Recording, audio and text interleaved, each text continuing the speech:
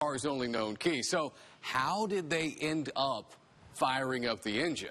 NBC2's Mercedes Martinez, she caught up with an employee who says these crooks clearly knew what they were doing. By the time I came in and seen a gap, I knew something was wrong. When Will Catalan showed up to work this morning at Keywood Motors on Colonial Boulevard, he saw this. An empty space and shattered glass, exactly where a gray 2017 Dodge Hellcat once sat. The motor is a big ticket on that vehicle. It's a $10,000 motor by itself. Pure shock when Keywood Motor sales manager Will saw that the Hellcat was gone, but the key was still hanging here. We've heard about it that, yes, they're a popular car to steal.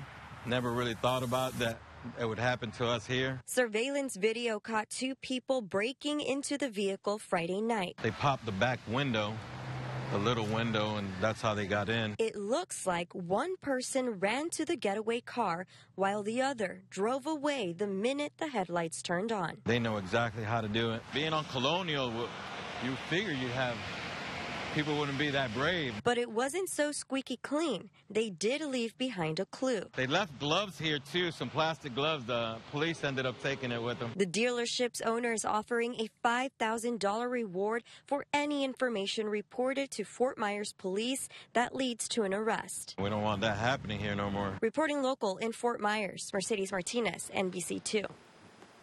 Earlier tonight,